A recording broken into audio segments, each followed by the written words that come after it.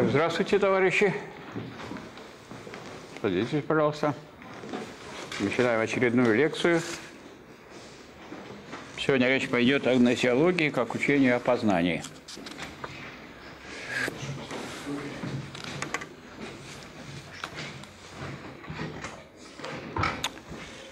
Гносеология.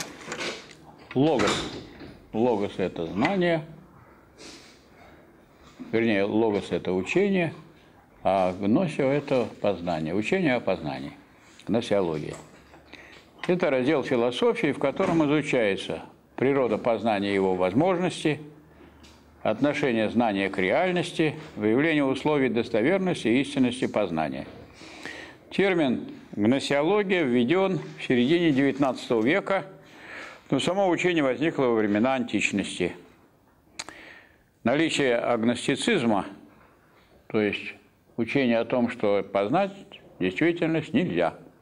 А – это не гнозис знания, агностицизм широко распространен либо в явной форме, в форме сказать, такого течения философского, вот, в той или иной мере он проявляется в отдельных работах авторов, которых в целом сказать, что они агностики нельзя – но, тем не менее, вот как у Канта говорится, что вот есть вещь в себе.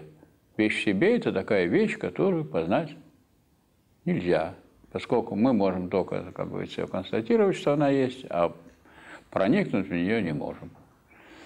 Ну вот и в свое время Гегель разбирал соответствующую позицию Канта и говорил, что вот стало уже модой говорить о вещи в себе, о том, что непознаваемо что нельзя ничего об этом узнать, ничего ничего понять, проникнуть нельзя. А в итоге что мы получили? Что вещь в себе – это пустая, неживая абстракция. И мы очень хорошо знаем, что это такое. Вот мы и знаем, что это такая абстракция, которая так сказать, преграждает путь познанию. И, так сказать, мода на это вот Кантом инициированная мода на эту непознаваемость вещи в себе – прошла, и об этом, если и говорят о вещи в себе, только в том смысле, что вы еще не проникли вглубь той вещи, которую познаете, и надо еще проникать. Вот.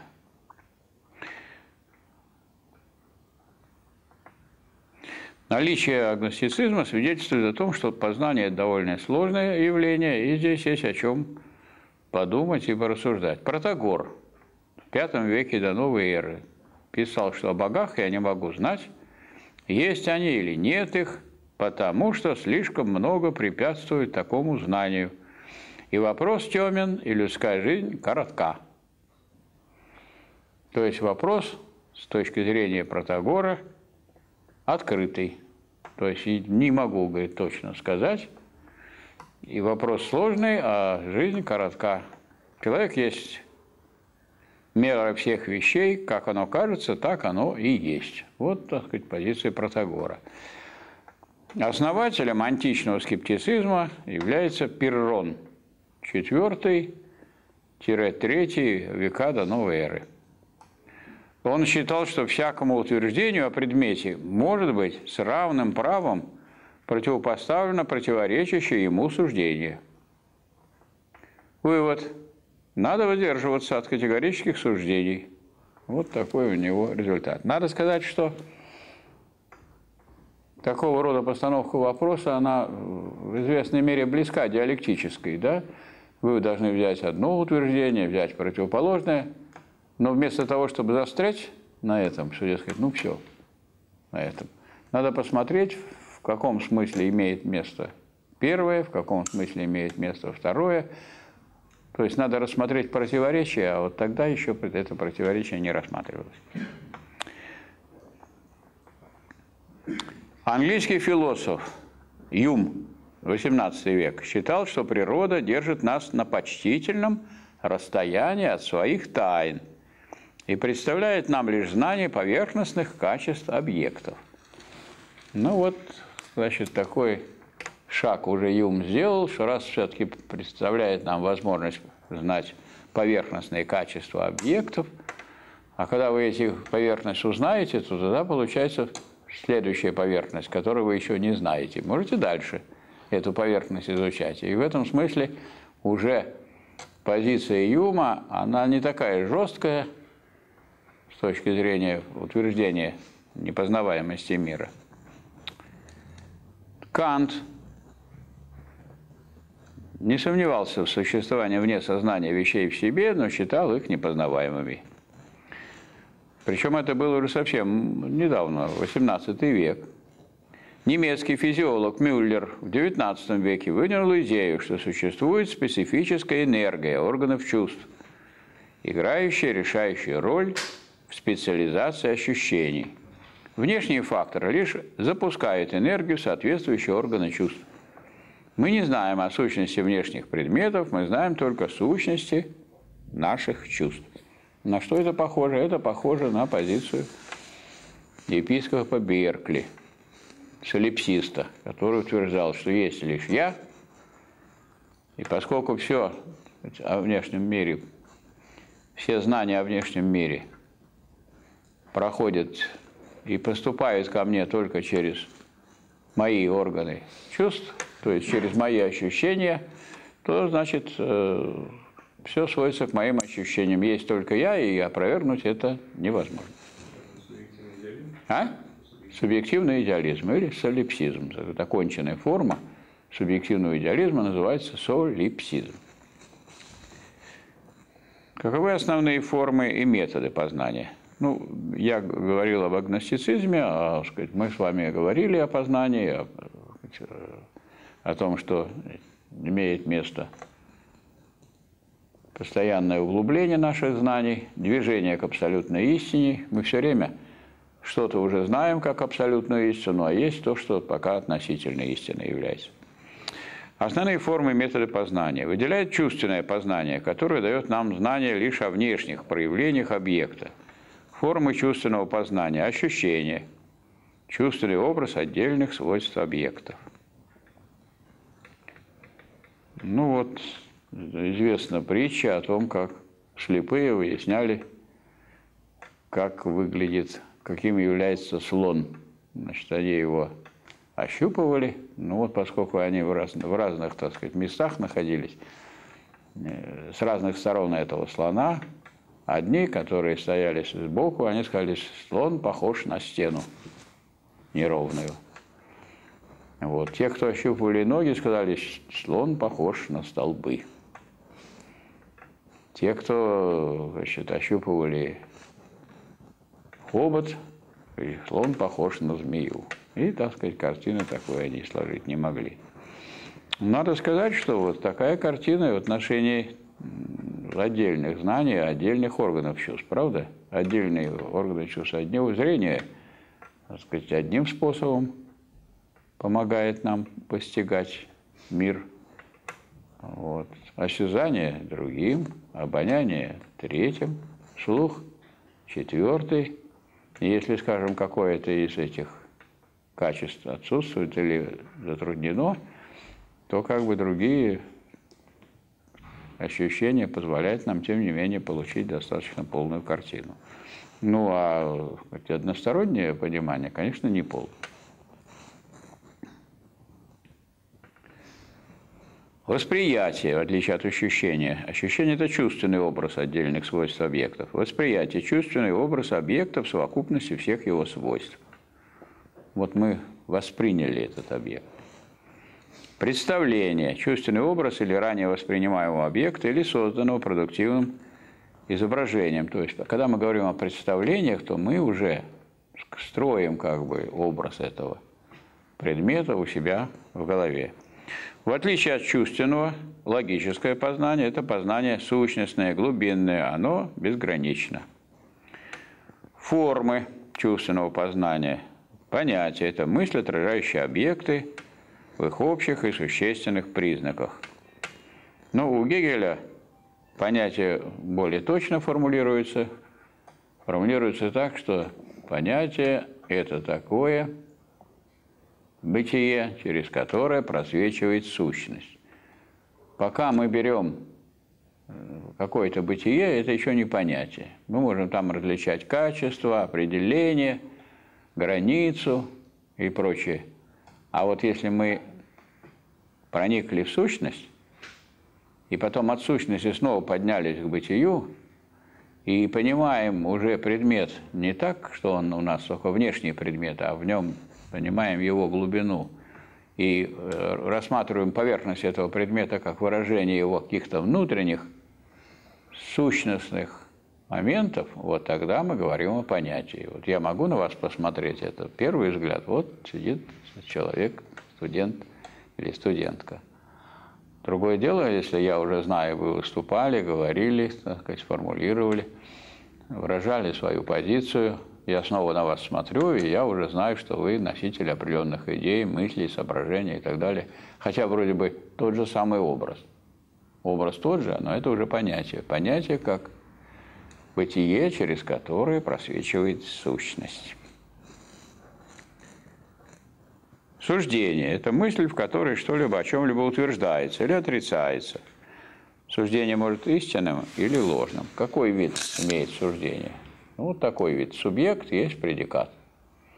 Роза есть растение. Это суждение о розе. Можно сказать, роза есть цветок. Можно? Можно. Можно сказать, роза есть твердое тело, не жидкость же роза. Правильно? То есть таких суждений можно высказать очень много. Некоторые люди думают, что вот если так сказано, там роза есть, что-то есть такое, то это и есть определение того, о чем говорят. Ничего подобного. Никакого полного, абсолютного тождества между субъектом и предикатом никогда нет. Обычно берется единичный субъект, и о нем высказывается что-то всеобщее. Правильно? Вот как в этом примере роза есть растение. Или собака – это есть животное. Животные бывают не собаки, бывают лисы, бывают кошки, бывают тигры, бывают лани.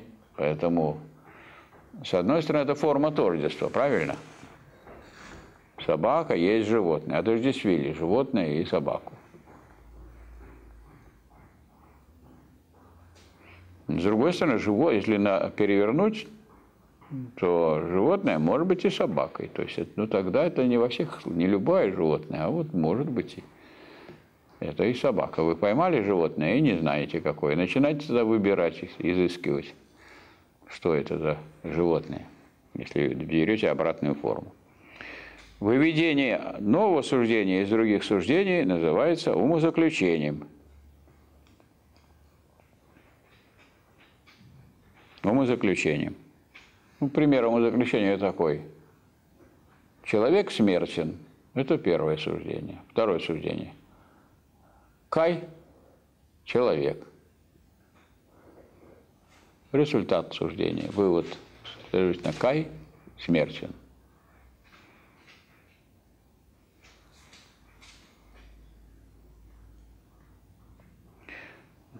Заключения бывают дедуктивными, когда вы из какой-то посылки выводите, что из этого следует. Индуктивными, когда вы сказать, перебираете какую-то цепь утверждений, и тогда, если вы наблюдаете некоторую закономерность в этой цепи, тогда вы можете сделать еще какой-то вывод о следующем звене. По аналогии. Ну вот рассуждение по аналогии Гегель, Гегель оценивал так. Рассуждение по аналогии – это худший вид рассуждений, потому что аналогия ничего не доказывает. Хотя э, очень часто люди рассуждают по аналогии, но это рассуждение больше людей неграмотных или малограмотных в теории познания и философии. Так.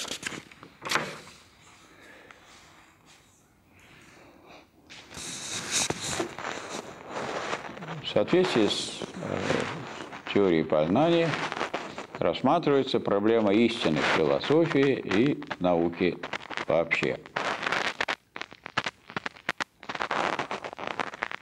Проблема истины является ведущей в теории познания. В изучении проблемы истины следует выделять два момента таких. Определение истины и критерии истины.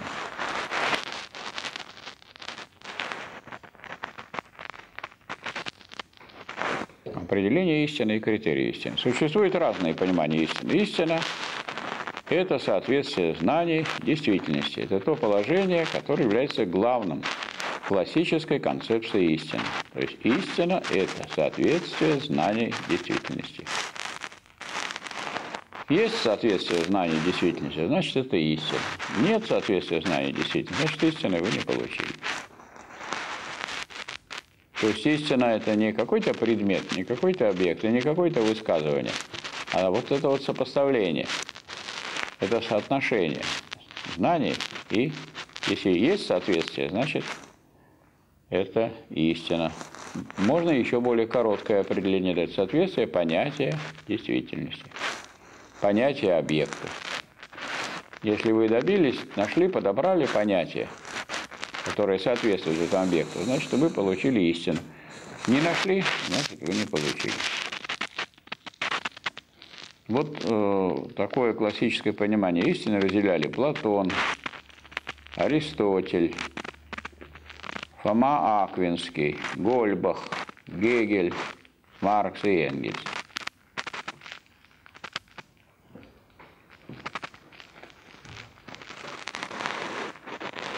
Истина объективна, то есть содержание нашего. Хотя э, я сделаю некоторые замечания. Вот тот, кто читал Библию, тот знает, что Христос там в Новом Завете постоянно повторяет «истинно, истинно вам говорю». То есть вот это употребление слова истины ничего, кроме заверения, не содержит. Если я буду говорить, что истина, истина вам говорю, что открылся буфет, и можно вместо занятий пойти сейчас в буфет – ну, вы скажете, во-первых, буфет с 11 часов работает. Во-вторых, это вы делаете, чтобы, так сказать, оживить свою скучную лекцию. И так далее, что-нибудь такое скептическое. То есть слово «истина» вовсе не означает, что на самом деле люди, которые это слово произносят, это выступает. А вот в религиозной сфере Хотя это вообще не сфера науки, там такой критерий не ставится, соответствие понятия объекта. Об истинности, тем не менее, очень много говорится. И эта истина присутствует как некоторое высказывание, без какой бы то ни было попытки доказывать, обосновывать, проверять тем более. Вот истина вот в этом и все. Точно так же, как некоторые говорят, истина в вине – чем вот сидеть и рассуждать, что есть истина, значит, открыть бутылку и тем самым погрузиться в эту истину. А есть такой напиток абсент, который освобождает вас от познания сразу. Абсент – это отсутствующий. То есть человек сразу выпадает в осадок, и больше, так сказать, его никакие проблемы ни истины, ни, ни, ни истины не волнуют. Истина объективно. В каком смысле? То есть, что содержание нашего знания не зависит ни от человека, ни от человечества. Оно, это содержание объективно, потому что это содержание предмета. Это сам предмет, а он существует объективно. Объект существует объективно. Из понимания истины как объективной следует ее конкретность. Вот конкретность по-разному понимают разные философы. Гегель понимает конкретность в смысле того, что это не одностороннее понимание. То есть не просто какая-то подробность, давайте, говорит, это все раскроем, все, так сказать, связи, зависимости. Он имеет в виду, что не одностороннее знание. Потому что если вы берете одну сторону, сторону положительная человека, вы не взяли его недостатки. А если вы не взяли его недостатки, вы не взяли его как живого. И не можете предсказать, как он будет действовать потому что он будет действовать, руководствуясь не только своими позитивными чаяниями или устремлениями, но и какими-то своими противоположными качествами. Вот.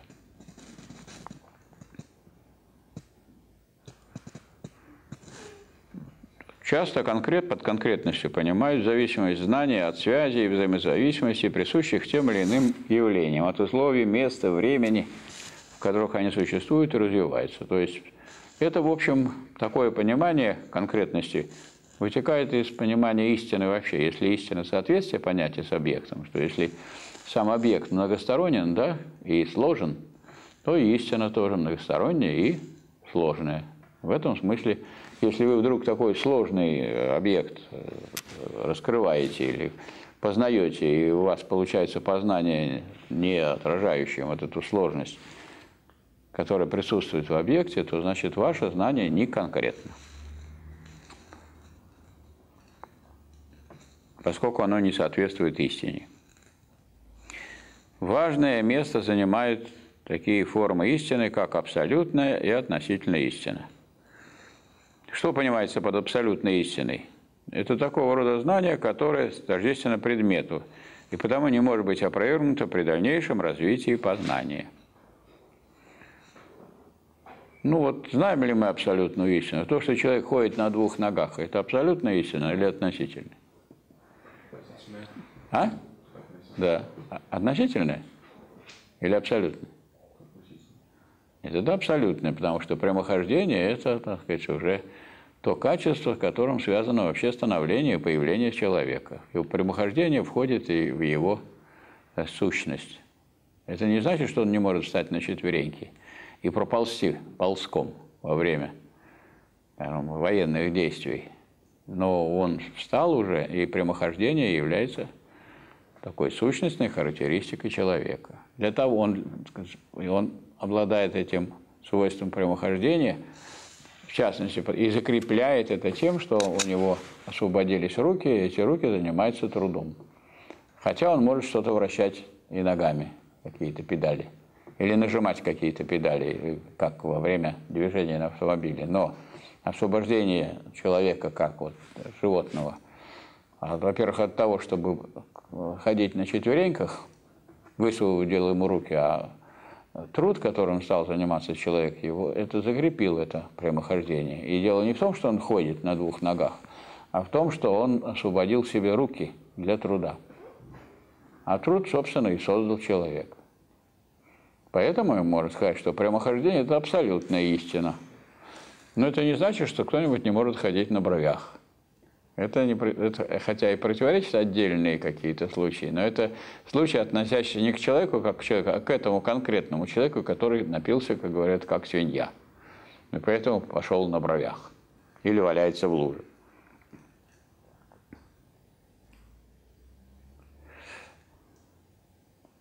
То есть, скажем, утверждение о том, что теорема Пифагора верна, что сумма квадратов катетов равна квадрату гипотенузы – не может быть опровергнуто дальнейшим развитием познания. То есть это уже абсолютная истина. И мы такие абсолютные истины накапливаем. Очень многое из того, что мы уже знаем, это абсолютная истина. Дважды два – четыре. Это не, не примерно три и девять, и не четыре и и мы тут не уточняем. А если вы начнете, э, скажем, говорить, что число π – это отношение окружности к диаметру равно 3,14, это какая истина? Абсолютно или относительно? А? Нет, не абсолютная, потому что число π это бесконечно и изображается бесконечной десятичной дробью. И мы можем все больше количество членов вам выдавать, математики могут вам выдавать. Но нам, например, тем, кто учился на матмехе, нам просто выдавали стишок, который позволяет нам знать гораздо больше про это число π.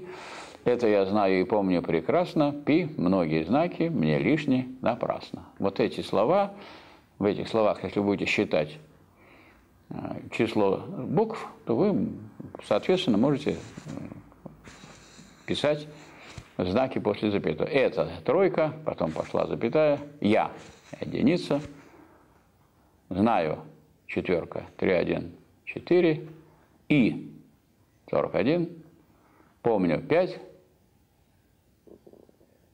прекрасно 9 и так далее, пим, потом двойка.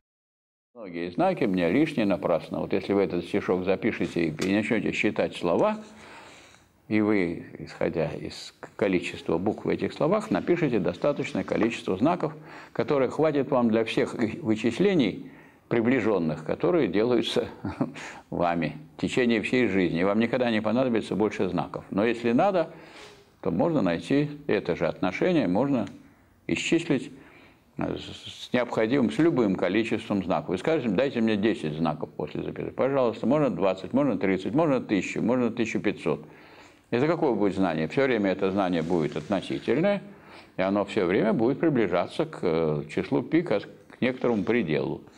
Поэтому число π это в данном случае будет выступать. Хотя само его, само отношение, вы можете записать обычным, обычным просто как отношение длины окружности к диаметру, и все. А, или есть другая такая, это рациональное число, так называемое, число Е. Оно тем хорошее, это число, очень хорошее, что это число Е, с одной стороны, очень довольно сложно определяется. Надо взять предел последовательности такого вида 1 плюс единица делить на n в скобочках и в n степени. Предел последовательности 1 плюс 1 n в скобочках и в n степени. Но это число обычно пишут e, и этим ограничиваются. Натуральные логарифмы, наверное, вы знаете, чем они хороши. Что они пишутся уже без основания, просто ln, а не, не лог по основанию, там, от x по основанию 5. Вот. И э, обычно действие с этим самым с числом e очень такие, всем нравится, потому что интеграл от e в степени x чему будет? Вот это вы можете запомнить и пугать тех, кто не знает математики. Не помните, чему равен интеграл от e в степени x? Сказать? E в степени x. А производная от e в степени x чему равна? Тоже не знаете? e в степени x. Вот это вы запомните, и уже можете щеголять знанием. Это еще называется число, такая функция e в степени x называется еще экспонентой. Поэтому вот, так сказать, то, что вы узнаете, это означает, что вы знаете, как дифференцировать и как интегрировать экспоненту. А чтобы это запомнить, можно запомнить простой анекдот. В одном сумасшедшем доме был сумасшедший математик. Вот он все время будил, и с ним не было никакого сладу.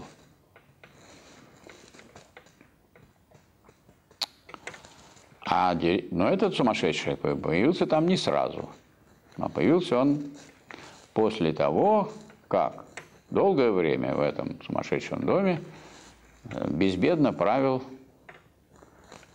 математик-директор сумасшедшего дома. Вот этот директор, если он видел, что нарушают порядок. Сумасшедший он приходил и их пугал. Придет и скажет, я вас продифференцирую. Они начинают, все, приходить в, в, в другое состояние. Но если это не помогало, то он приходил и пугал их тем, что я вас проинтегрирую. И вот, когда появился уже сумасшедший математик, то есть среди сумасшедших, то однажды произошла такая сцена, что разбушевали сумасшедшие, шумели, что-то бузили, кричали. И тогда пришел директор и по старой своей привычке говорит, я вас продифференцирую. Все испугались, один говорит, а мне плевать. Тогда он говорит, я вас проинтегрирую. Все опять испугались. А этот сумасшедший говорит, а мне плевать.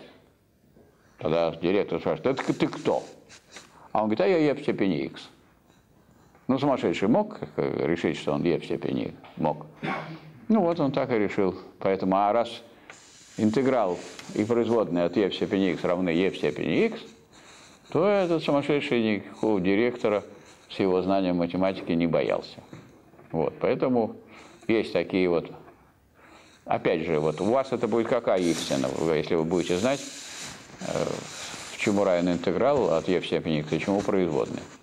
Ну, она будет тоже относительной, потому что, вообще говоря, даже когда говорят об интеграле, то надо добавлять ex э, плюс c, то есть плюс константа, потому что э, все вот функции, которые отличаются от e в степени x на константу, то есть на постоянную, они все имеют тоже такую же производную e в степени x. Но мы же говорим, различаем абсолютную истину и относительную. Относительная истина уже у вас в кармане. А что касается самой этой, э, знает ли человечество? Знает, то есть он, в как, что значит знает? Ну, никто еще не написал во всю длину, ну, но всегда можно написать любое количество знаков. Вы можете это задать задачу И она будет, машина будет вычислять, вычислять, и сколько угодно будет знаков после запятой вам давать. Столько, сколько надо. Поэтому можно считать, что вот число Е в степени. Число Е э, тоже познано, и число π познано, но э, познаны они как бесконечные десятичные дроби. Бесконечные. Известно, что они бесконечные. И эта бесконечность, на них можно рассказывать, что такое абсолютная истина и что такое относительно. Всегда какое-то количество, которое вы наберете, какое вам надо, сколько вам, 150 знаков, 150, 1500, пожалуйста, 1500. Это будет истина относительная. Всегда можно еще добавить. А абсолютная, но она как бы в принципе есть, познаваемая это все. Но каждый раз вот в готовом виде у вас ее нет, потому что нет такого места на Земле, где можно было бы все это написать подряд, потому что это раз бесконечно много цифр, то для этого надо бесконечно много бумаги и бесконечно долго на нее смотреть, на эти цифры.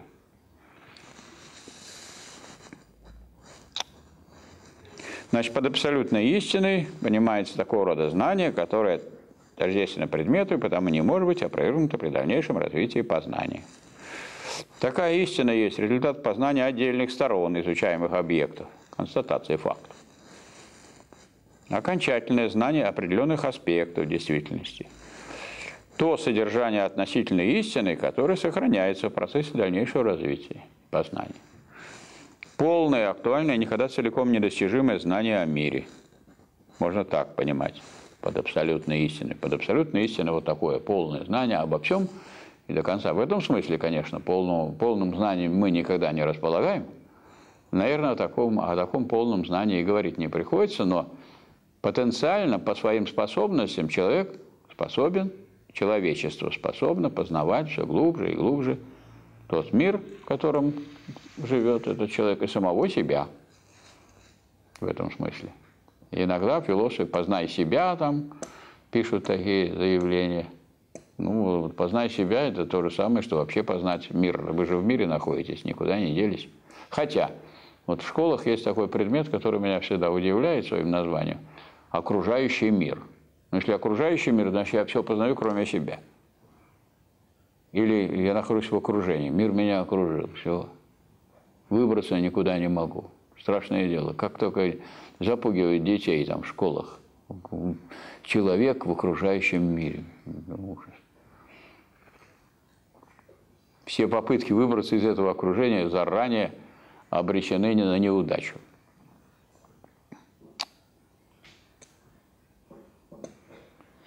Относительно истина. Это не полное знание о том же самом предмете.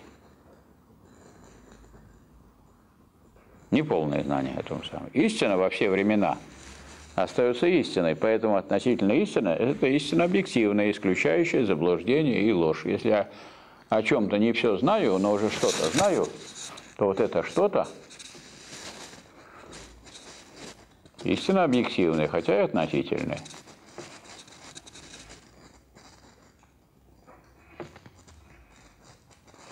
Есть вот э, такая концепция, как когерентная концепция истины. Истинное знание с этой точки зрения – это самосогласованное, непротиворечивое знание. Основоположником такого знания является Кант, или такого понимания истины. А в 20 веке неопозитивизм. Это вот позиция прямо противостоит диалектике.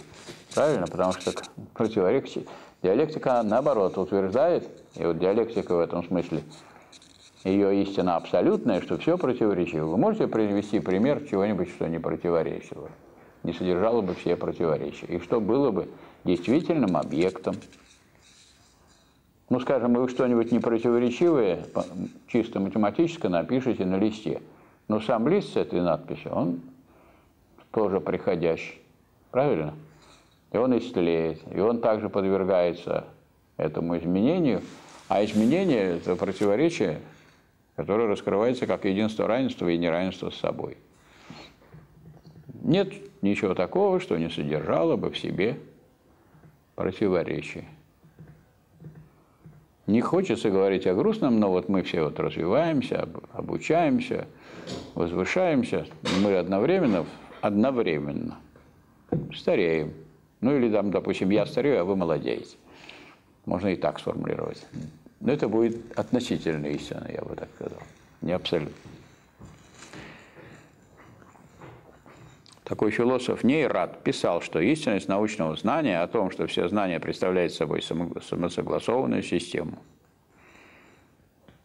Но еще Парменид и Зенон, то есть древние греческие философы, считали, что соответствие знаний действительности может быть удостоверено не путем наблюдения, которые не дают достоверного знания, а лишь путем установления непротиворечивости знаний. Прагматическая концепция истины – Пирс, Джемс. Истина утверждения состоит в его согласии с конечным критерием, а этот критерий есть полезность данного утверждения для действий. Если это полезно для действий, то вот в этом и истина.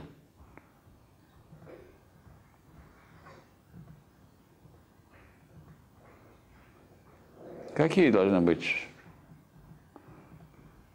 Какая, какой истинный инструмент для обеда? Если у вас суп, то истинная ложка, а если у вас второе, то вилка. То есть полезность для действий. И все. В настоящее время распространен подход, называемый элиминационным. Истинно неопределенные понятия, ведущие к трудностям. Необходимо искать более удобные понятия, например, соглашения или иные заместители. И надо сказать, это очень распространено сегодня. Люди, как только попадают на встречает какую-то умную книгу, вот сразу начинается поиски, а как бы это упростить, а как бы это схематизировать, зачем так сложно, а почему не так просто? И так далее. Хотя, я думаю, наверное, все понимают, что если вы упростите тот способ, которым созданы ракеты, ракеты не полетят ни на Луну, ни к Марсу, ни на Международную космическую станцию. Вот на сегодняшний день космонавтов уже в течение пяти лет э, возят на Международную космическую станцию только российская техника, российские ракеты. У американцев программа шаттла закончилась, новый, новых носителей они для этого не создали пока. Ну вот пытаются создавать, еще не скоро создадут. Может быть, еще до 2019 года будут создавать. То есть они платят деньги и едут, как на такси, на российских ракетах. Не говоря уже о том, что наши двигатели ракетные продаются американцам, и они устанавливают их на свои ракеты «Атлас». Поэтому вот почему-то такие тут санкции они не вводят, потому что Министерство обороны Соединенных Штатов Америки настаивает, чтобы ни в коем случае эту, эту сделку не, не нарушили, но у них будет плохо дело с ракетами.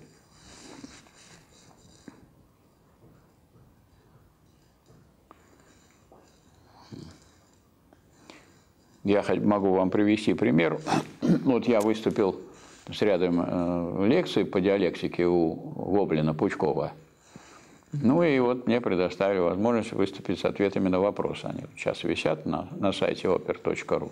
Основная масса вопросов сводится к тому, а нельзя ли как-нибудь без этого обойтись, без диалектики, без таких сложностей, без таких трудностей, без такой книги, которую написал Гегель «Наука логики», Нельзя ли как-нибудь вот по-простому, нельзя ли вот обойтись без сложных инструментов и взять молотком и топором и все и сделать? И это основная масса вопросов. Просто такое, надо сказать, стремление или какое-то непонимание, что если жизнь сложна, то и теория, которая отражает эту жизнь, тоже сложна. А что такое сложное? Вот я вам простой вопрос задам. Сложное – это что такое? Да, сложное. Это что? Слышали такое слово? Что это? Сложное, сложное. Что значит сложное, сложное? Вы хотите сказать, что если я вас спрошу, что такое елка, вы скажете, елка это елка? А? Сложное из простого. Сложное это сложное из простых. Значит, если мы все более и более сложное берем, то оно все более и более усложняется. Правильно? То есть все, все более, все эти относительно простые, они относительно простые по отношению только к следующей, более высокой категории. А так они сложные. Точно так же, как, скажем, мы состоим из э, молекул. А молекулы состоят из атомов. Атомы включают в себя движение электронов, протоны и нейтроны. А если дальше углубляться, там еще бозоны и фермионы и так далее, и так далее, и так далее. Ну, что значит взять и упростить? То есть для нашего удобства.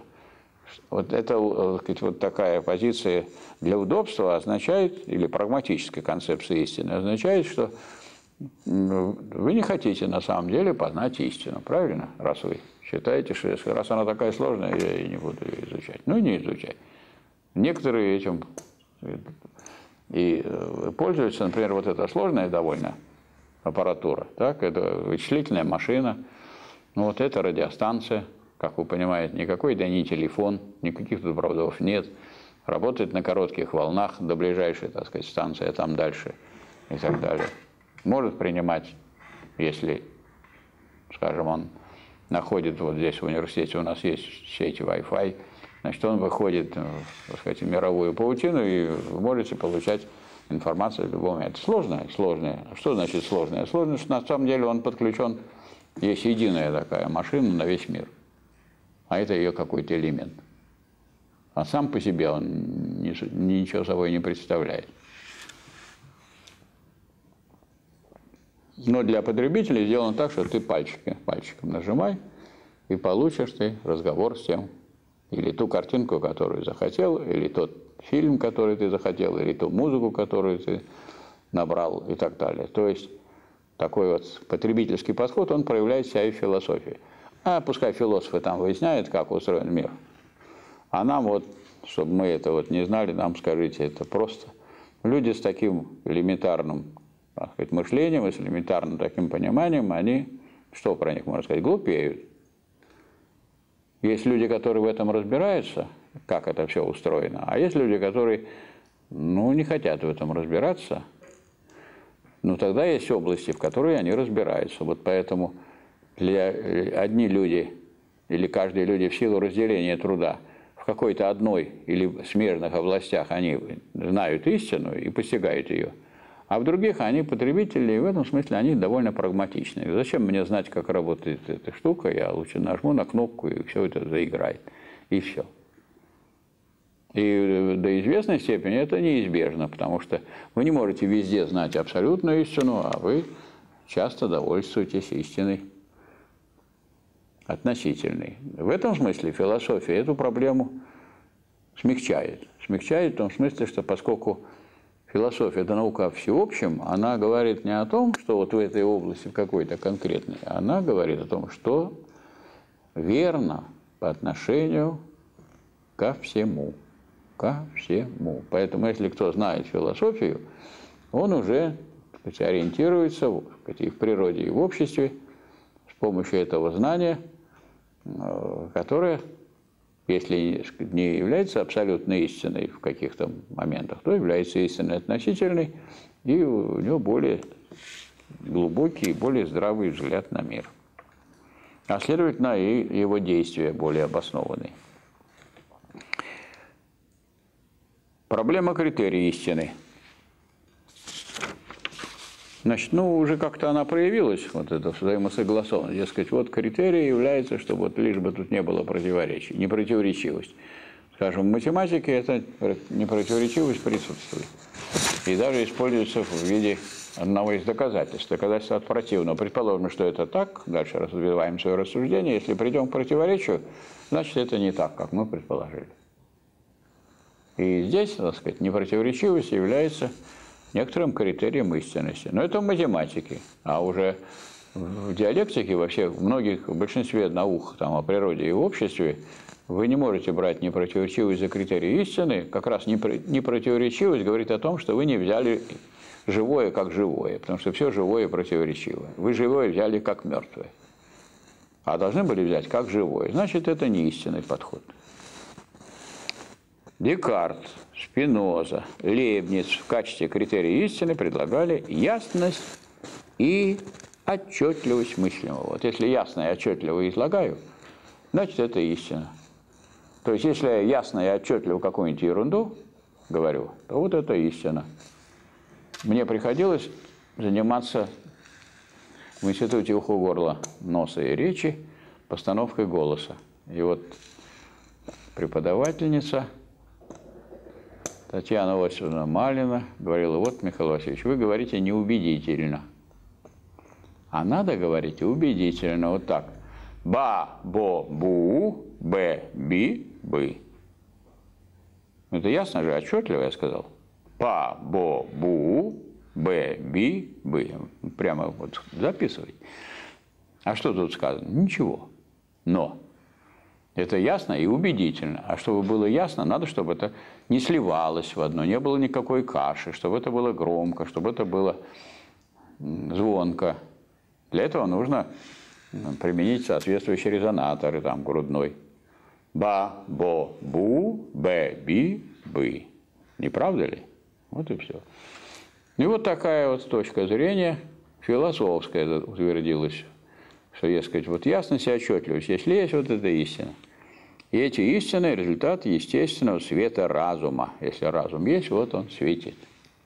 Но вы знаете, что есть такие исключительные балабоны, например, пример Горбачев, который никогда, истины у него почти не было никогда, а он все говорил, говорил, говорил, и поскольку он говорил довольно красочно, многие люди верили тому, что он говорит.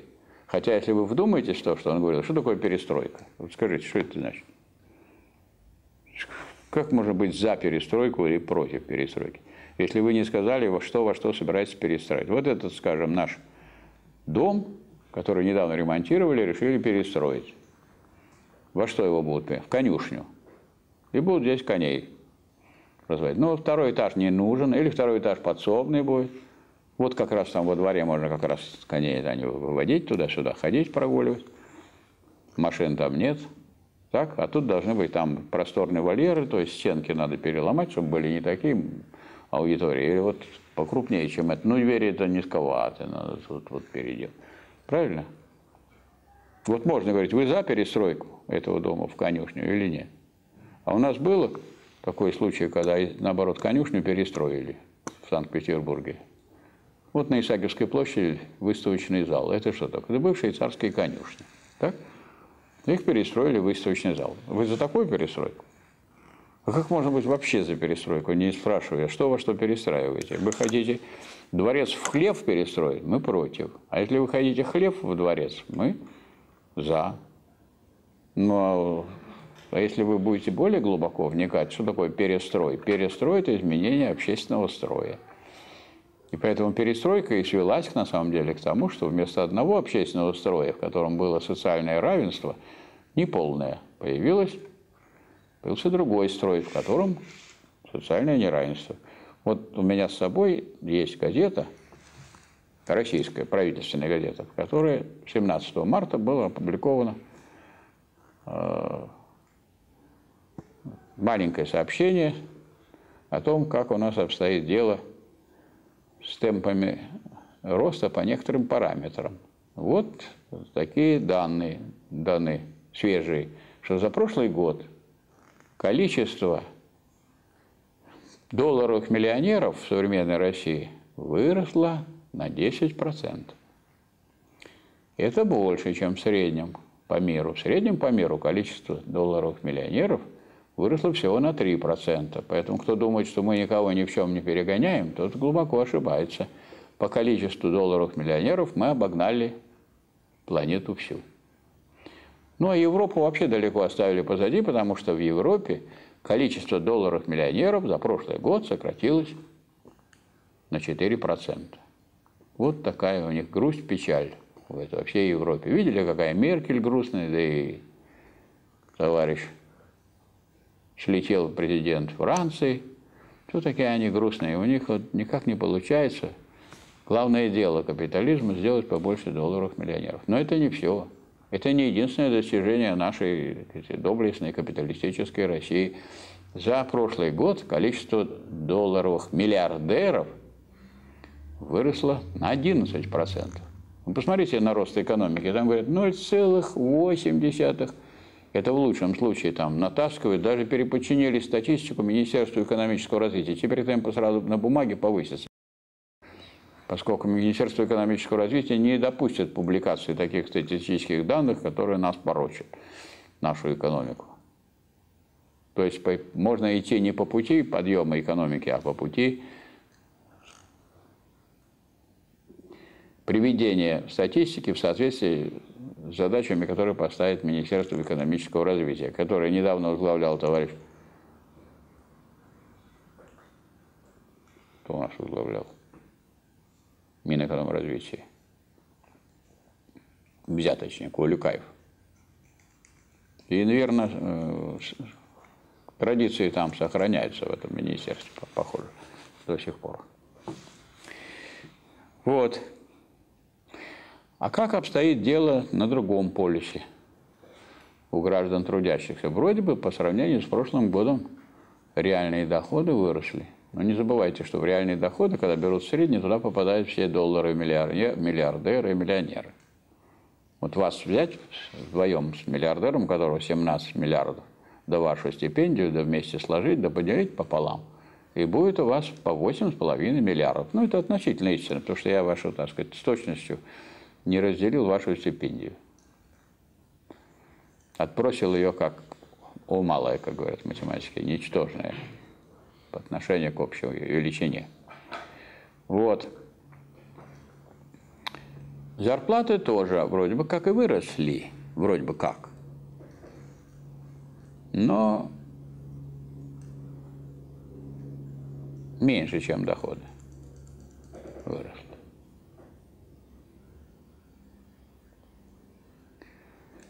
Так, а вот теперь данные, которые даются в этой же небольшой заметке в российской газете по отношению к, э, к доходам населения и зарплат по отношению к 2013 году. Вот теперь начали, впервые появился Новый год, который можно сравнивать не, не 1913, а 2013. Так вот, по отношению с 2013 э, годом дело обстоит так – что реальные доходы, реальные доходы упали. Вот у меня эта газета в России стало больше миллионеров называется. И реальные доходы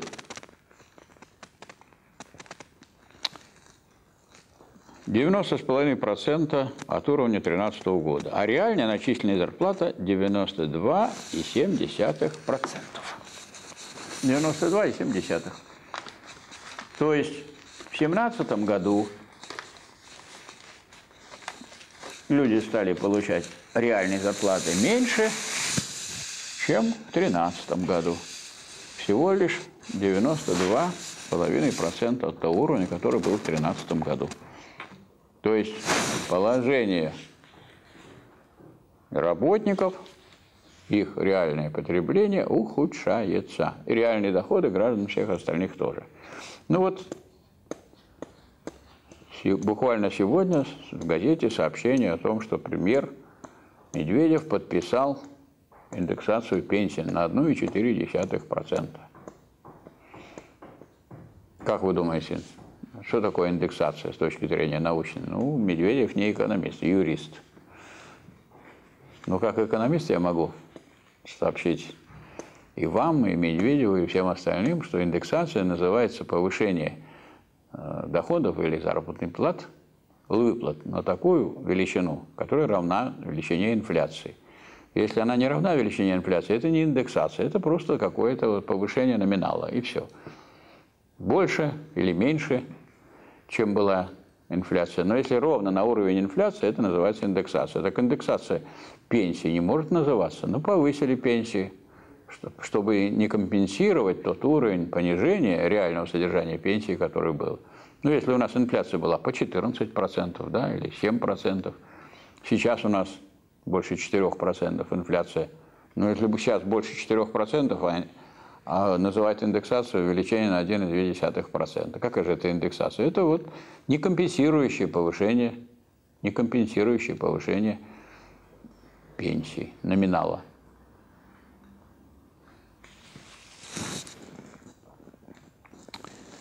Так, Ну, так что вот это вот тот случай, когда это не истинное высказывание, это никакая не индексация вообще.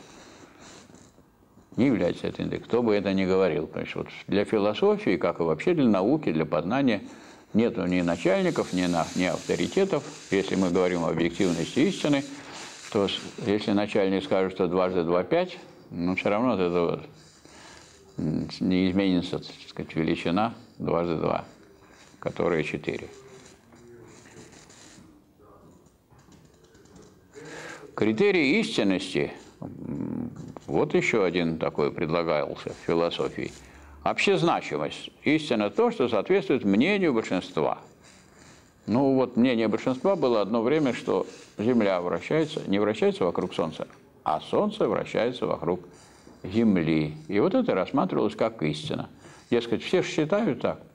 Вот Джордана Бруно стал выступать против этого мнения большинства – и его точка зрения была истинной, с точки зрения соответствия понятия объекту, и стал доказывать, что Земля вращается вокруг Солнца, его сожгли на костре.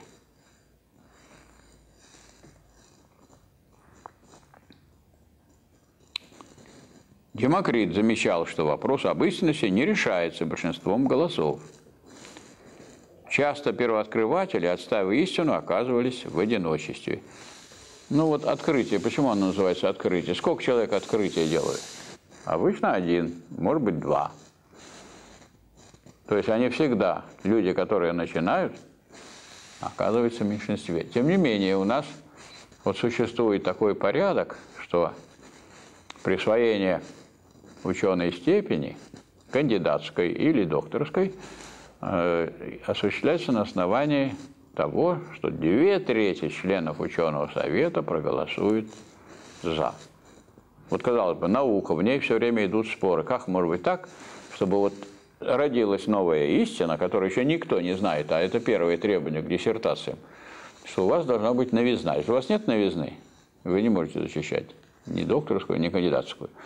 И как может быть такое, чтобы в самом начале, если это истина, две трети голосуют за. Либо это никого не волнует, еще истина. Она, может, и правильная, но это вот никого это не затрагивает из тех, кто сидит в ученом совете. Или это значит, истина, которую уже отстаивает человек достаточно постаревший, то есть который давно уже отстаивает ее в литературе, в книгах, в статьях, она уже ее не, как эту истину не спрячешь, не закроешь, поэтому бессмысленно против нее выступать, голосует большинство две трети. Ну а так, э, если это действительно новое, еще никто не знает и не видел, очень странно, чтобы это вот две трети за это проголосовало, правда? Очень странно. Как это вот вы неслыханно, не видано, вот это вот только что появилось, и прямо уже две трети за это выступает. Может такое быть? С этим связаны вот такие вот проблемы, в том числе и защит. То есть человек, который защищается, он должен понимать, что если у него не очень хорошая работа, он может и легко защититься. А если очень хорошая, возможно, что он и не защитится. Или защититься не утвердят. Потому что, скажем, пошлет ВАК на перезащиту, а там тоже будет две трети голосов. Те люди, которые с этим не согласны, проголосуют, одна треть против проголосует, и человек в ученой степени не получит.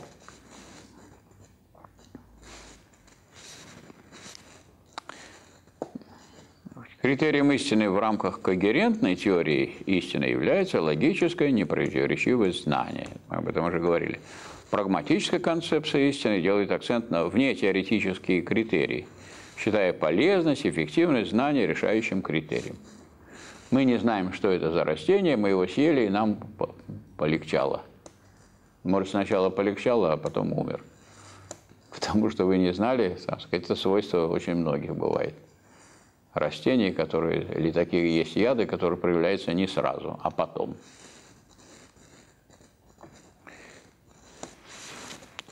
Конвенционалистическая концепция, то есть от слова конвенция, согласие, соглашение. Решающий критерий считает согласие научного сообщества. Поскольку вопрос об истинности той или иной теории в итоге решает научное сообщество, то само согласие должно служить окончательным критерием истинности. Вот у нас был председатель ВАКа, а потом его сняли за злоупотребление. за то, что он протаскивал липовые диссертации. Было такое дело. Вот вам и контроль за, за истинностью. Марксистская концепция истинности такова. Ведущий критерий истины – это практика. То есть, как доказать, что это так и есть. Что утверждается, что вот это так. Как доказать? Проверить на практике. Практика, критерий истины в материализме и, более конкретно, в марксизме.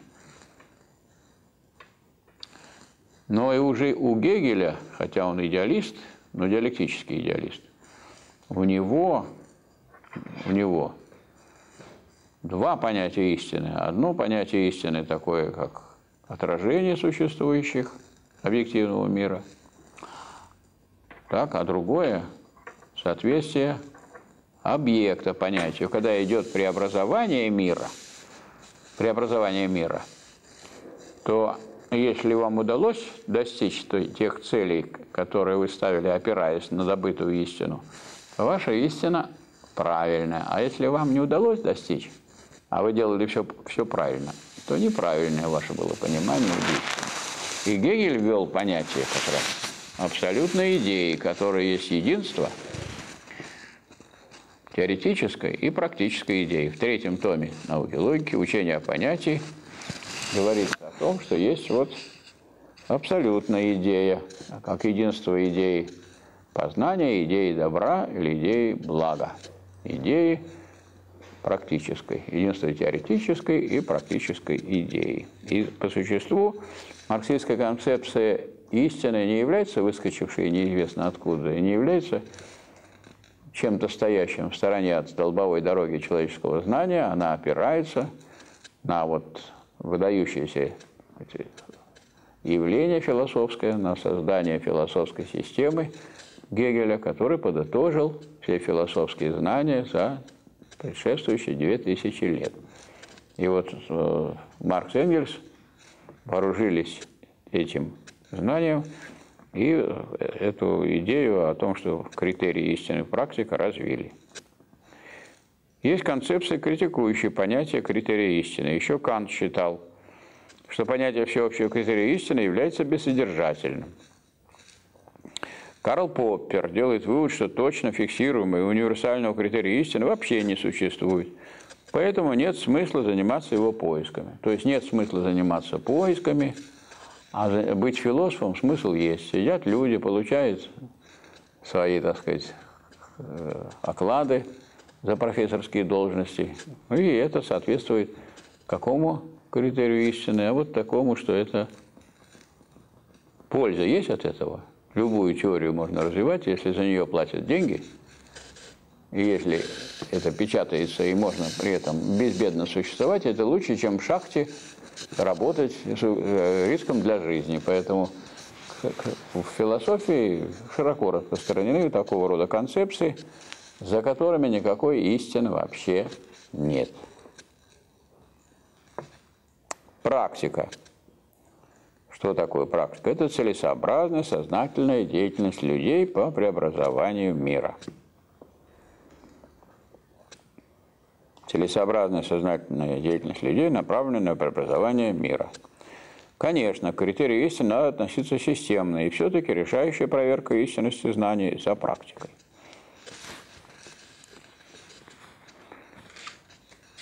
Так.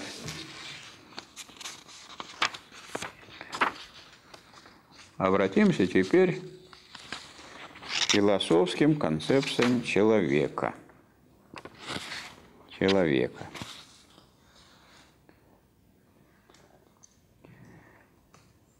Аристотелем был введен термин антропология для обозначения совокупности знаний о духовной стороне человеческого общества. Антропология. Аристотелем.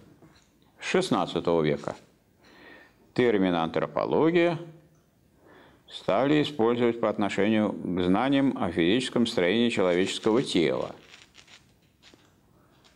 как знание об устройстве организма человека.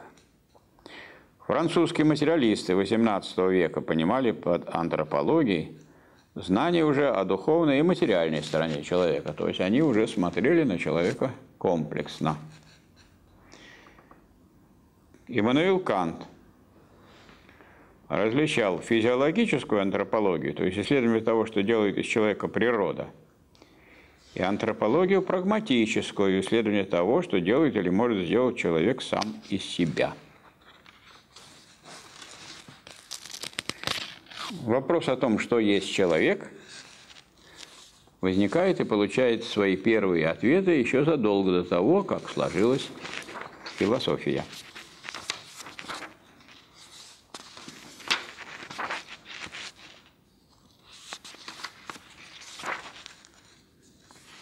Сложилась философия. Греческую цивилизацию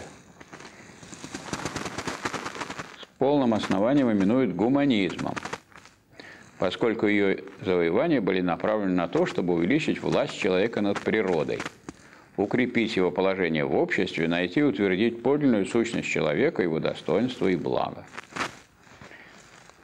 Идея человека пронизывала мышление греков, и свидетельством этого является антропоморфизм древнегреческой религии и космологии.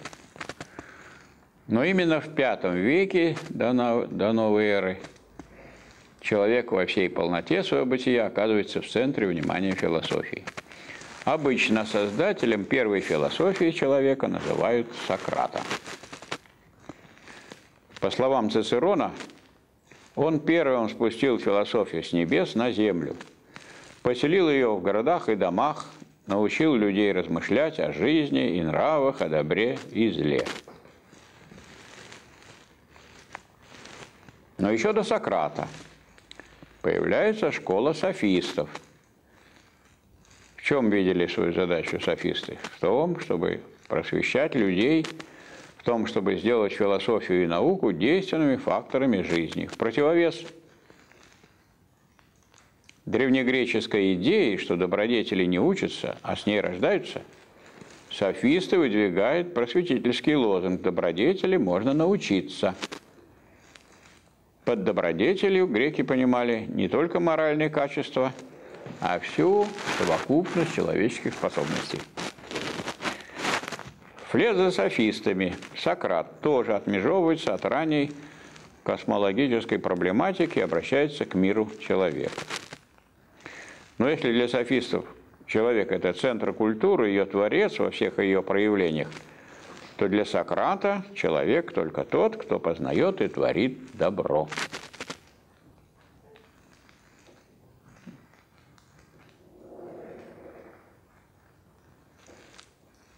Божественно санкционируя этическое познание, Сократ призывает познать самого себя. Он говорит, познавай, ищи самого себя, испытай себя, знающий ли, добрый ли ты или нет. То есть это вот прямо перед экзаменом надо обращаться к Сократу с этой точки зрения и готовиться. Испытай себя, приходи на экзамен, тут ты себя и испытаешь как раз. Вы сдавать будете экзамен или держать? Вот, то есть все, что принесли, сдадите мне, я это к себе положу, а вы пустой, без знаний пойдете домой. Или вы принесли, так сказать, нас пришли, наполненные знаниями, проверили эти знания, испытали себя и пошли дальше в, в будущее с этими знаниями. Я думаю, что вот термин экзамен надо понимать не как сдачу, а как испытание, как человек подтверждает, так сказать, сам для себя, сам себя познает на экзамене. Вы хотите узнать, знаете вы или нет? Ну как вы это узнаете? С помощью того человека, который, другого человека, который будет эти знания у вас проверять. Сократ обращается не к человеку вообще, а к данному конкретному индивиду. Я прямо вот к вам сейчас обратился, к конкретному индивиду. Ну, как Сократ прямо. А вы мне ответили. Платон был прямым наследником Сократа. Есть христианская концепция человека. Это не философия в буквальном смысле слова, не наука, но это вот есть такое понимание, а если речь идет о человеке, то можно ведь и философию рассматривать в сравнении с э, тем, как понимает человек религии. Христианская концепция человека такова, что раннее христианство выдвигает идею бессмертия отдельной человеческой души. Раб от природы такой же человек, как и другие. Христианство приравнивает рабов и свободных, но уже не по природе, а по духу. Христианство предлагает равенство, но это не действительное равенство, а идеальное. То есть вообще-то люди не равны, но против рабства не выступает христианство. Наоборот, утверждает, что все есть рабы Божьи. Одним из наиболее ценных приобретений этого этапа была идея бессмертия, однократности и самоценности человеческой личности, которая развивается в рамках христианской философии.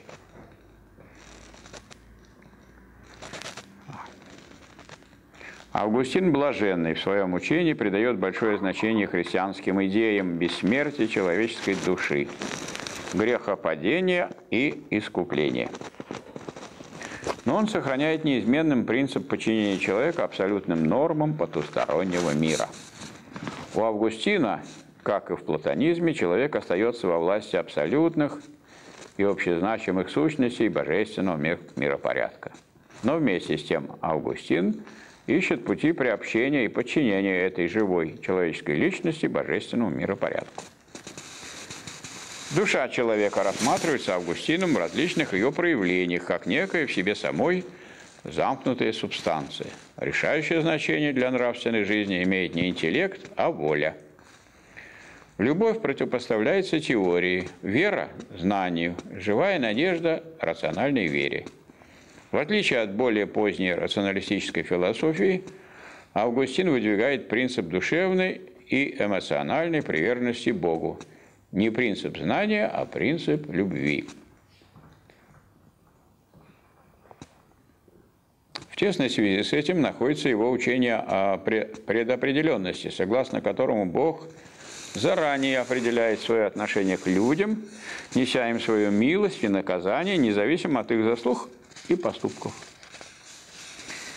В отличие от Августина, Фома Аквинский связывает христианское учение с философией Аристотеля. Он также понимает бытие Бога в духе христианской религии, признает творение мира из ничего и бессмертие человеческой души. Но душа не существует до земной жизни, она создается Богом – и знание приобретает не путем воспоминания, как у Платона, а через чувственное восприятие. Поэтому и лекции у нас читаются, чтобы вы через чувственное восприятие воспринимали знания, как это и понимал Фома Аквинский. Человек – частица установленного Богом миропорядка и занимает заранее отведенное ему место. Ценность жизни и поступков – определяется тем, насколько она соответствует этому данному порядку. Ну вот, наступило новое время, и человек нового времени выступает уже как другой человек. Реформация, противовес средневековой идеи внешнего миропорядка, выдвигает положение о живом, индивидуальном и однократном характере встречи человека с Богом и о личной ответственности верующего за свои убеждения. Человек, как абсолютно греховное и падшее существо, отделяется от Бога.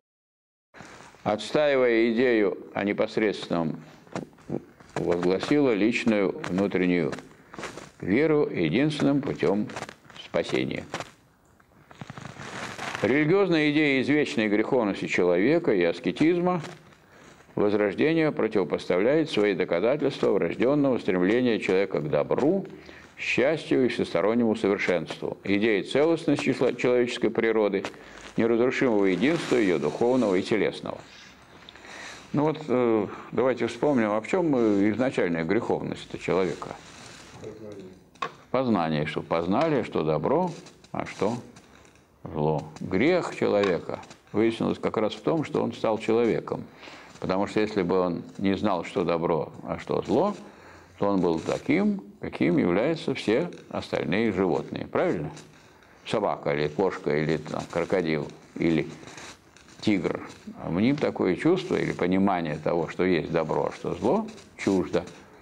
И, и значит, судя по тексту Библии, тот Бог, который задумывал мир, задумал его таким, чтобы человек в нем был бы таким животным, который не знает, не отличает добро от зла.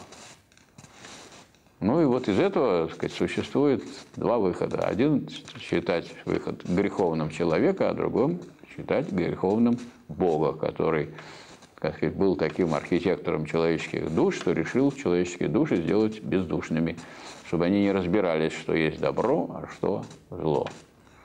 Поэтому вот почему полезно читать и изучать Библию, что поэтому можно основываться на том, а что, собственно говоря,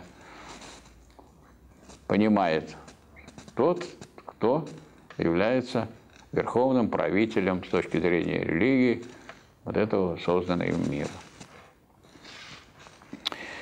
Так вот, религиозная идея извечной греховности человека и аскетизма, а возрождение противопоставляет свои доказательства возрожденного стремления человека к добру, к счастью и всестороннему совершенству, идея целостности человеческой природы и неразрушимого единства ее духовного и телесного.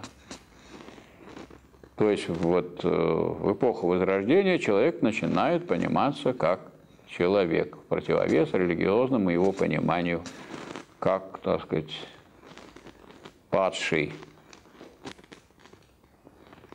и в грехе. В этике эпохи Возрождения получает свое развитие и распространение эпикурианства, что соответствовало господствовавшим тогда идеалам гуманизма, то есть жажде земного счастья, всестороннего развития личности, которые были характерны для раннего буржуазного мироощущения. Рационализм античных мыслителей – Платоновский дуализм души и тела обновляет себя в философии Декарта. В духе рационализма Декарт видит сущность человека в мышлении, в разумности. Начиная с сомнения истинности общепризнанного знания, Декарт путем логических рассуждений приходит к признанию первого достоверного факта, самого сомнения – а следовательно и мышление, и через него существование мыслящего существа, человека. Я мыслю, следовательно, я существую. То есть доказывается существование человека через то, что он мыслит. Ну и в известном смысле это нам кажется это странным, но с другой стороны, если бы он не мыслит, то он не человек. То он не существует как человек. Правильно, если он не мыслит, то он существует как животное. Поэтому вот эта мысль Декарта, она совпадает с общей логикой возрождения, и она противоположна такому религиозному пониманию человека как чего-то совершенно греховного существа. Единственным достоверным признаком человеческого существования, определяющим природу человека, утверждается мышление, интеллект.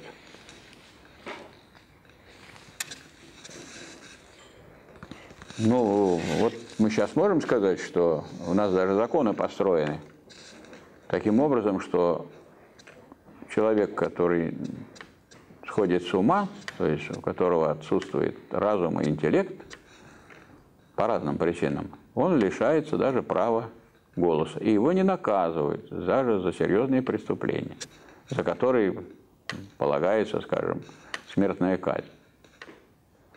Кого у нас не наказывают? Две категории существует.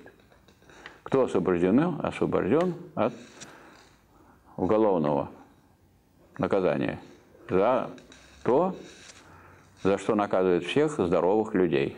Это, во-первых, сумасшедшие, во-вторых, семья Ельцина.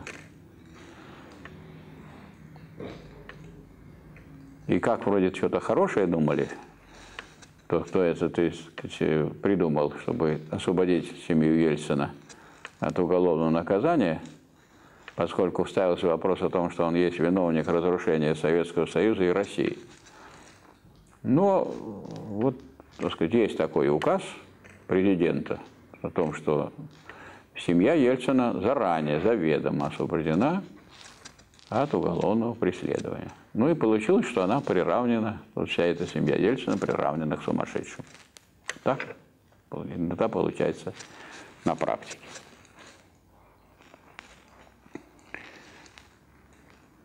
Как соотносится природное, биологическое и общественное, то есть социальное в человеке. То есть речь, это называется так, антропосоциогенез и его комплексный характер. Антропосоциогенез. Что такое человек? Каково место человека в природе? Вечно ли существует человек, или он возник на каком-то этапе развития мира? Если он возник исторически, то каким образом? Каким было его раннее существование? В чем состоит его предназначение? Эти тесно связанные между собой вопросы издавна волновали людей. Ответы на них определялись достигнутым уровнем развития науки, естествознания, философскими и идеологическими позициями мыслителей и ученых. Несмотря на ряд гениальных догадок, проблема происхождения человека и общества в древности и средневековье была покрыта наслоениями мифологии, мистики, религиозных домыслов, умозрительных спекуляций, далеких от доказательности и обоснованности. Настоящий переворот в накоплении антропологических и этнографических данных начинается в эпоху великих географических открытий в конце XV века. В конце XIX и XX века материалистическое естествознание в тесном союзе с гуманитарными и общественными науками существенно продвинулись в решении проблемы происхождения человека и общества. Следующий шаг в понимании первобытной истории человечества связано с построением таких общих схем всемирно-исторического процесса, в которых народы заморских стран выступали как представители ранней ступени развития человечества – Значительную роль в разработке этих теорий сыграли великие французские просветители XVIII века Жан-Жак Руссо, Дидро, Шарль Монтескье, Вольтер, Кондорсе и другие. Одни из них, в частности Руссо и Дидро, идеализировали первобытность, представляли ее как золотой век человечества, все основные позитивные качества которого утеряны последующими поколениями в эпоху цивилизации. Другие например, Кондорсе, разрабатывали концепции исторического прогресса человеческой истории, разума и культуры. Благодаря развитию разума человек проходит определенные ступени общественного устройства от охоты и рыболовства к домашнему животных, эпоха рабства, а от него к земледелию, эпоха феодализма. Первоначально каменные орудия древних людей, которые случайно находили в земле, не рассматривались как предметы, имеющие отношение к истории человечества. Их считали талисманами, посланиями богов, которые боги метают вместе с молнией на землю.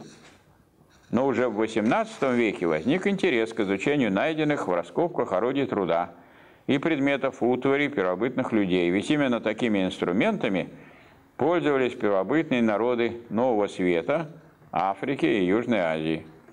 В первой половине XVIII века все чаще высказываются мысли о существовании каменного века у древних людей, о том, что каменные предметы – это выполненные в незапамятные времена произведения рук человеческих, что человек существовал задолго до Адама и Евы. Сначала такие заявления резко отторгались не только церковными, но и научными кругами.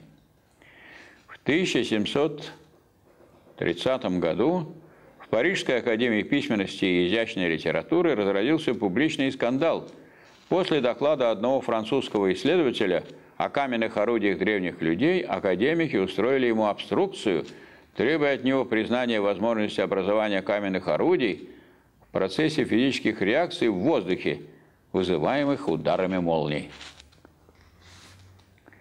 В середине XVIII века а? В каком году это было в 1730-м. 1730, недавно, в общем, 730 год. Это уже время вот, строительства Петербурга, да? То есть это такое время бурного развития. В середине XVIII века Карл Линней положил начало научному представлению о происхождении человека. В своей системе природы 1735 год он отнес человека к животному миру, помещая его в своей классификации рядом с человекообразными обезьянами. Интересно, что Линей подчеркивая родство человека и человекообразных обезьян, называет орангутана Homo silvestris – человек лесной. В XVIII веке зарождается и научная приматология. Так, в 1766 году появилась научная работа Бюфона об орангутане. Голландский анатом Кампер показал значительное сходство в строении основных органов человека и животных. Все это позволило поставить на принципиально новую научную основу вопрос о границах между человеком и высшими приматами. Ну, давайте сделаем перерыв.